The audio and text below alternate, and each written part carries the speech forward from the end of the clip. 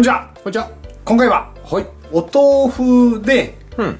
田楽味噌を作ろうかなと。おお豆腐田楽みたいな。豆腐田楽。はい。美味しそうね。を作っていきたいと思います。はい。まあ用意したのがこちらですね。木綿豆腐。木綿豆腐。はい。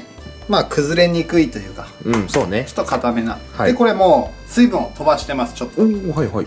であと使うのははい。赤味噌赤味噌。これ今 60g ですね。はい。と白味噌 30g と卵黄身1個。卵黄1個と砂糖が大さじ1杯弱半ぐらい。うん。と鶏のひき肉です、はい。これが 100g ぐらい今、とあとみりんとお酒を使います。はい。ではまずまず。味噌を作っていきます。はい。でこれ少量作るんだったら、これ全部半分ずつにしてもらったら少量にはなります。うーんとこれはまあ合わせてるんですけどはい。もう基本赤味噌のうん。田楽というか。赤味噌メインのはい。田楽と。です。とお味噌とお砂糖ですね。はい。結構あるね砂糖。うん大さじ1杯半ぐらいあるからねうん卵卵黄。1個分ですね。黄はい。これをしっかり馴染むまで混ぜ込むわけですね。そうですね。でまあこの時にもう全部ぶち込んじゃうんでうん。まあお酒も入れます。ここでお酒も入るわけね。はい。とお酒が大さじ3杯弱。みりんが小さじ2杯に。今ボウルにやってるんですけどはい。もうお鍋に直接でもあいいんだ。あいいです。どうせ火入れちゃうんで。あなるほどね。はい。よーく混ぜます。ほい。でお酒とみりんとか入れたんで結構今シャバシャバでしょ？うん。で今度、うん。これお鍋で。加熱するわけですね。はい。お鍋で火入れます。はい。で中火ぐらいで大丈夫かな。焦げそうで怖いですよね。ああ味噌とかはね。これをお鍋で水分をまず飛ばします。はい。で最初のお味噌の硬さぐらいまで結構じゃあしっかりゆっくりやらないとダメなんだね。そうだね。でそこまで持っていきます。はい。焦がさないようにね。うん。慎重にね。これ強火でやる人勇者だね。勇者だね。あでもネバネバなってきた。ね。もうちょい。もうちょいもうちょい。これ上に乗っけるんでああこぼれないようにね。りやばいと。そうそうそう。だらーっと落ちちゃうから。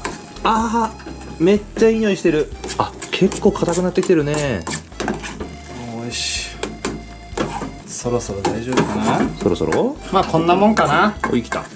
お味噌完成。お味噌完成です。はーい。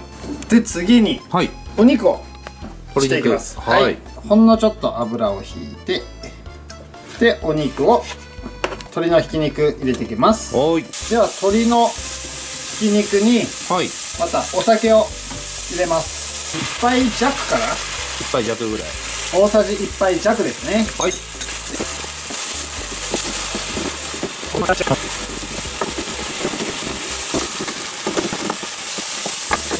はい。まあこんぐらいかな、結構パラパラになりましたね。うん、もうちょっと細かくできればうん。細かくした方が後々いいですけどね。こんぐらいでも OK まあ大丈夫だと思う。はい。でこれに、うん。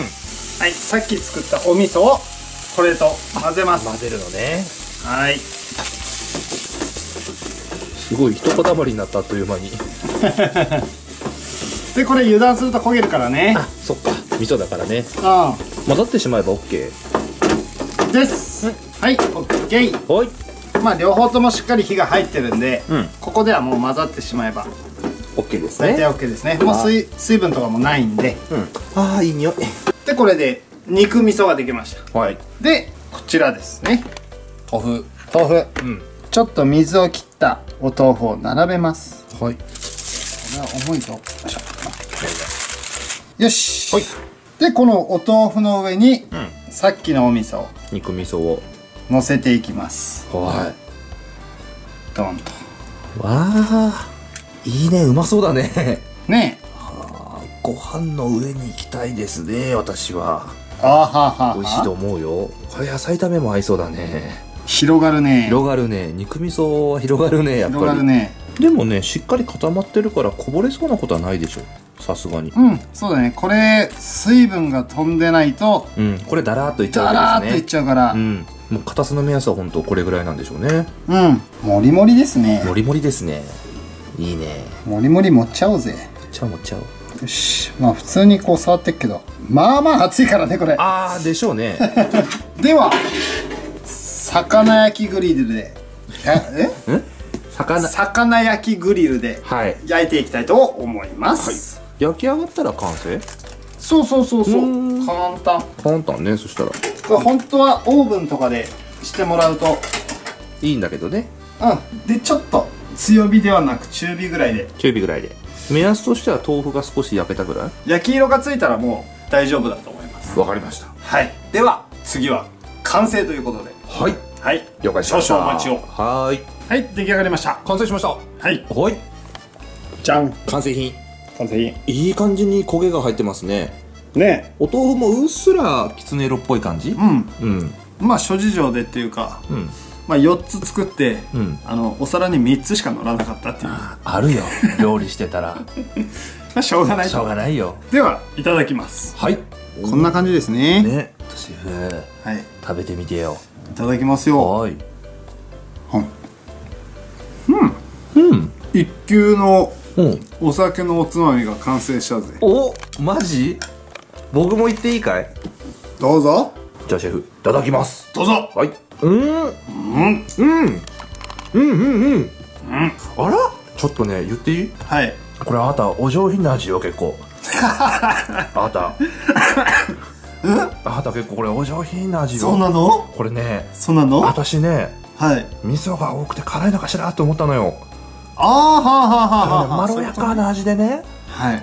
豆腐といい感じにマッチングしてこれお上品よ。お上品なの？お上品な味よこれ。美味しお上い品だよね。美味しい美味しい。本当和食のおつまみですよ。いやこれ辛そう辛そうって思ってたんだけどんなことはないね。そうっすね。あれ？あれ？いいよ喋っててあら。シェフ喋ってて。あら。この通り作ってもらったらうん。いい感じにうん。多分なると思うんで。うん。まあ皆さん真似して作ってみてください。これ私おすすめよ。本当にみんな作ってみてほしい。これ美味しいね。本当美味しかった。多分皆さんもこれはぜひともうん。やっていただいたらいいんじゃないかと思います。はい。ありがとうございました。ありがとうございましたご視聴ありがとうございました。右上がメインの釣りチャンネル。左上がサブのゲームチャンネル。下が次のおすすめ動画になっております。次回もよろしくお願いします。チャオ。